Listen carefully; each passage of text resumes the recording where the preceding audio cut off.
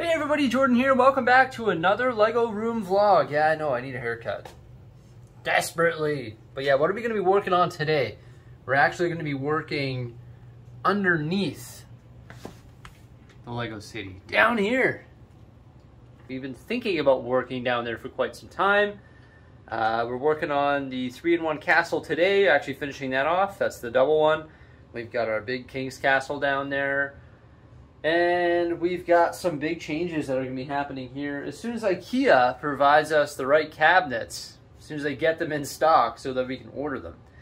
But even before I go to IKEA and we get all those cabinets that are going underneath the table here, we need to make some changes that are going to help us prepare for that time. So this is what we have in store today. Okay, so down here we have this large platform, and this large platform isn't going anywhere. This one here is going to hold our castle. So we're going to make a giant castle scene right here, which is going to be pretty darn neat. I've always wanted a castle scene, and I think that's going to be pretty sweet. So we already built this castle right here. Jose's just doing some R&D for some other projects. But this is our other castle that we're currently building using rebrickable instructions right here, which is essentially two of the three-in-one castles. And we're to build an epic battle scene down here. We're to try and locate or buy an army of, of uh, knights, and we're going to hopefully build a whole bunch more catapults similar to the one right there. And we're to create just an epic medieval battle scene down here. That's obviously not happening today because it is a bloody mess down here. So we need to tidy this whole area up down here to help accommodate our new changes. First thing that we actually have to do is move this platform, actually remove it altogether. We're getting rid of one of the platforms that creates sort of the perimeter layout, and we're going to be changing it. We're going to be putting one of these platforms actually in the center, running between the center of the tables where all those loose parts are there on the ground. So you can see I've already started manipulating the train track there a little bit. Now, why are we doing that? Well, because we got to fit our cabinets right here that are actually going to become shelving units. I'm really excited about that because it's going to help clean up this view right here. So when you're looking at the Lego City, where it's in the shot, you're not going to see a hoard down there that doesn't really look that clean, but rather you're going to see shelves that are sort of like the Billy shelves, obviously shorter though, they're the same height as table legs, and they're going to go along right here, and then the train, or the connecting train lines will be behind that so that the trains can start in the train yard here because this platform's not going anywhere and then make the way to the other side and go for a loop around the fantasy sort of castle area. So yeah, why am I doing this right now? Just because I'm really excited about doing it and I can't wait for IKEA to get those cabinets in stock. So I'm just gonna do it anyway today. So why are we deciding to move this inward right here? Well, that's because our city is 100 inches wide. And because our city is 100 inches wide, we cannot reach the center of the table. So as you've probably seen in previous updates, we moved this modular table right here to access the center of the city. And in order to move the modular table, we have to slide this out. Every time we have to slide that out, if there's train track on there, we have to disconnect the train track and essentially destroy what's ever on there. And after doing it about 10 times, we've discovered that that's a little bit inefficient. So rather than moving it all the time when we slide out the modular table, we're gonna move this inward so that we don't have to destroy things and it's also easier to move the modular table. In theory, it was good. It does honestly doesn't take that long to move, but it's just going to make life easier if we have the center connected and then only have one connection and sort of a winding train track coming out that way. It'll be a dual line. Let's get that set up. First thing I gotta go do is actually get my drill and remove some of these platforms. Oh, there we go. Just added another piece of wood to the old lumber yard here in the garage. And with the removal of that, it's actually incredible how open it is down here. It almost just makes the room feel bigger, even though it's underneath the table. I don't know if that makes sense. But it also reveals all of the parts that we need to sort. Yay! All right, so I'm army crawling on the ground here. And I see all of those parts that we need to sort. And also all of those parts over there that we need to sort as well. Woo! You know what? Hockey season. And uh, I think we're going to be sorting parts while watching hockey. Now you have proof that I'm laying on the ground with you guys.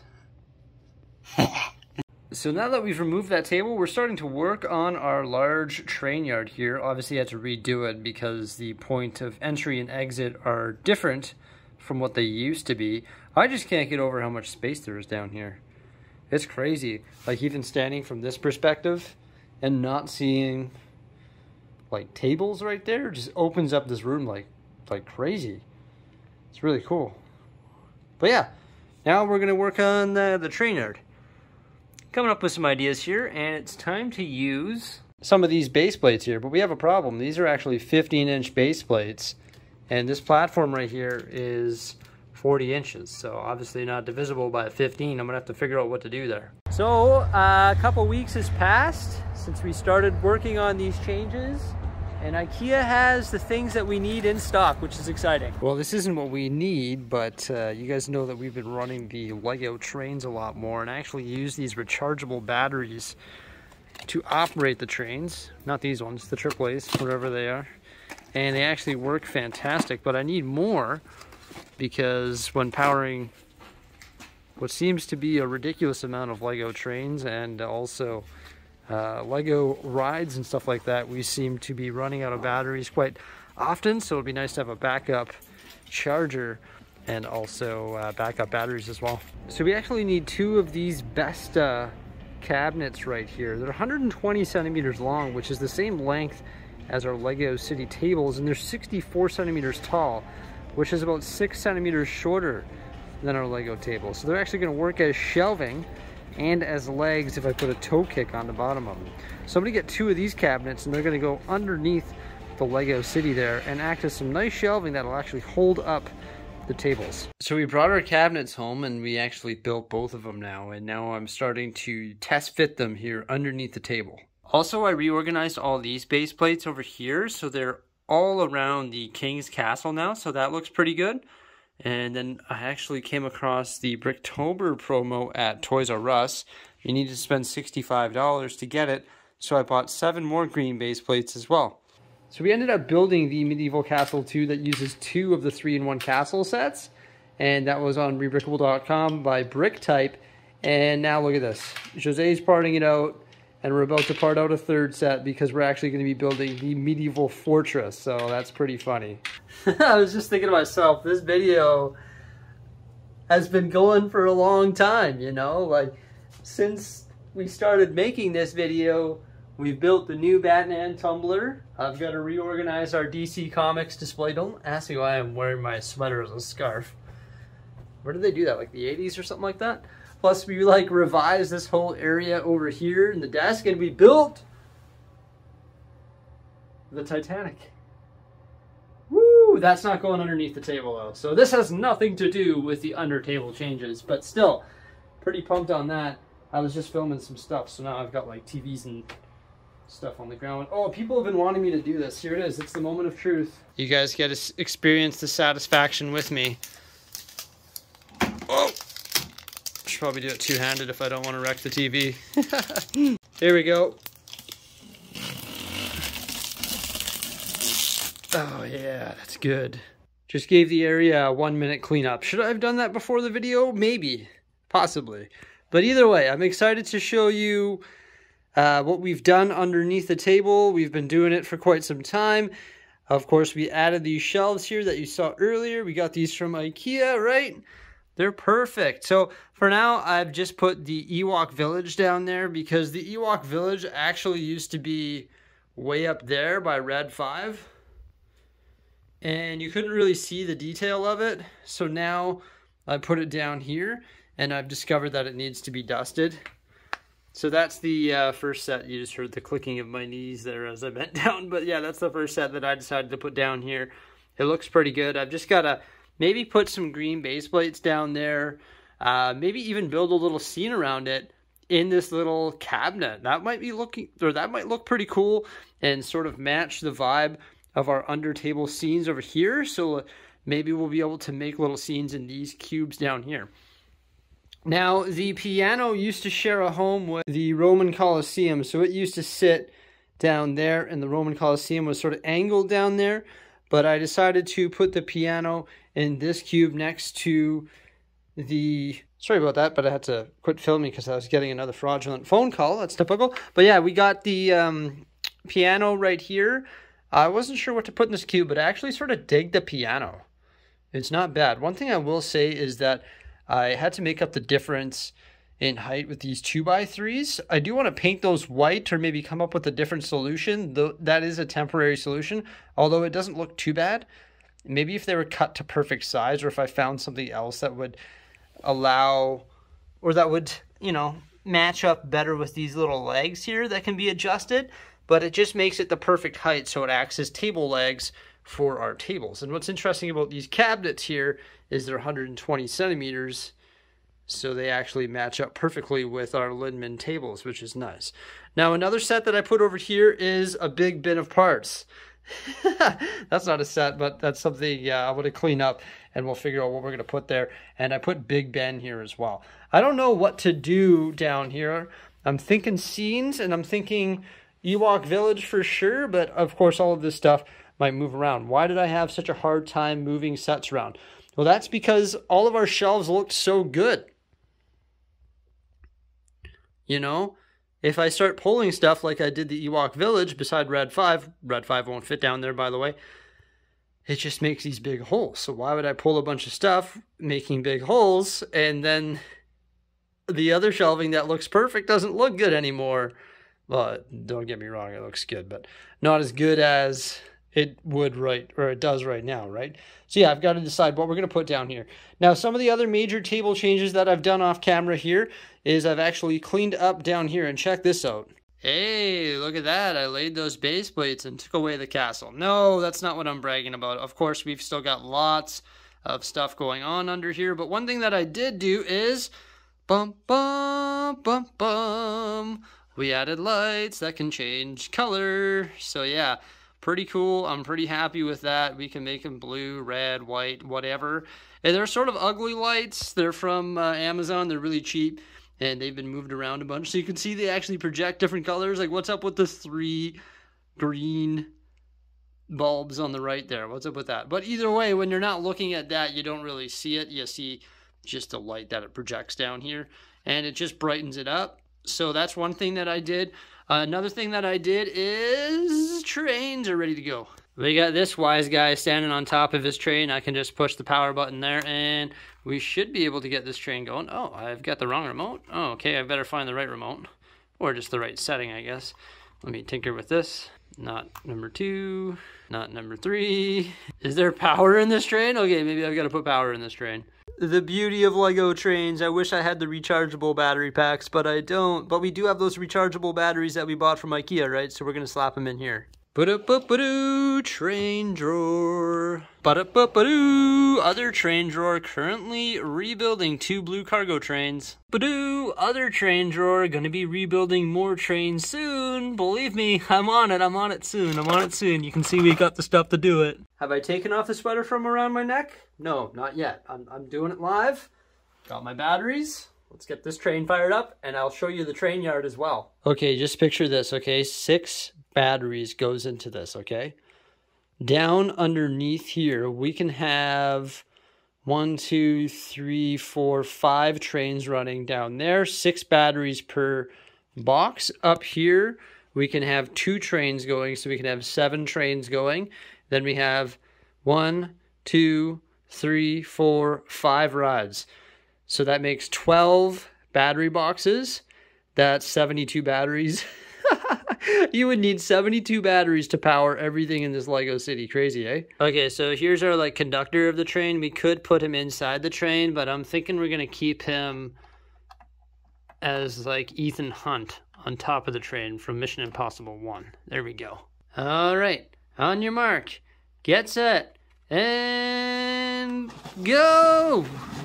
Not too fast though. Not too fast. Whoa! Hopefully all my switches are good. Oh my gosh, I didn't check my switches. Uh-oh. Uh-oh. I'm dead serious. Ah, look at Ethan Hunt.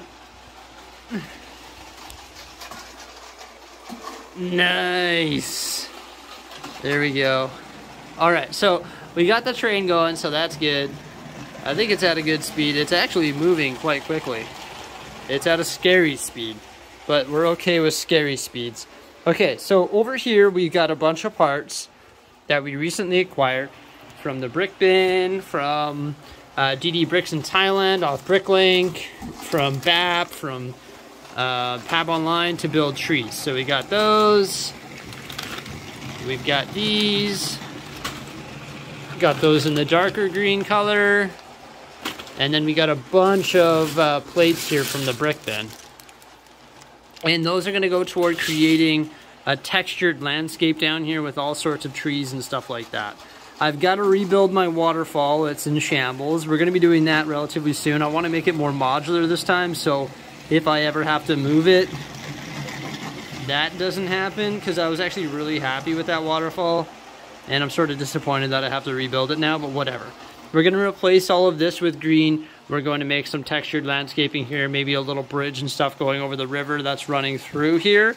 Then we're going to build that medieval castle, or medieval fortress rather, and we're going to put it right down here uh, after we finish base plating this whole area. And we're going to base plate this whole area using green base plates from, uh, once again, the Toys R Us Bricktober sales that are continuing to happen here throughout the month of October. So we're really excited about that. Now, we are coming to the far side over here. Uh, oh my gosh, I just heard a derail. Roger that. He's going a little too fast. We'll fix him when he comes around. Come here. Oh, oh, he lost his back half. Okay. Oh, Ethan Hunt survived though. Okay, um, so we've got this large platform right here that we're covering with these gray, or gray base plates. Thank you so much, Seam, as well, for your contribution there. That was awesome. I need to get two more of those. We're going to get those from uh, Bricktober as well. You can see that there is some space in the foreground here.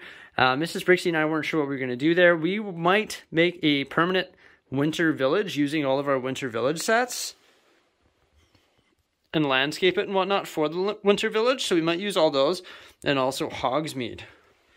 So it'd be like castles right there, table legs, castles, and then also uh, all of the winter stuff along here.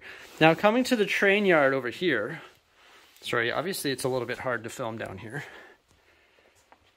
We're just here to have fun. Have fun with Lego, right?